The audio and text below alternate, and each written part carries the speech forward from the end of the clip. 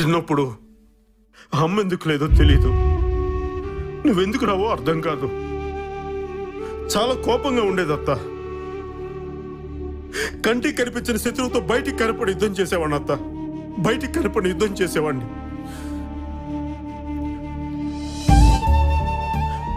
బాగుండడం అంటే బాగా ఉండడం కాదత్త నలుగురితో ఉండడం నవ్వుతూ ఉండడం.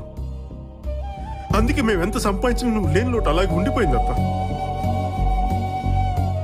ఒక రోజు జరిగిన తప్పుకి పాతిక సంవత్సరాలుగా సారీ చెప్తూనే ఉన్నాం అత్త. సారీ చెప్తూనే ఉన్నాం ఇంకా వెయిట్ చేయడం మా వల్ల కాదత్త. మా వల్ల కాదు. కుదిరితే క్షమించు లేదంటే శిక్షించు. కానీ మేము ఉన్నామని గుర్తించత్త దయచేసి గుర్తించు. దయచేసి గుర్తించు.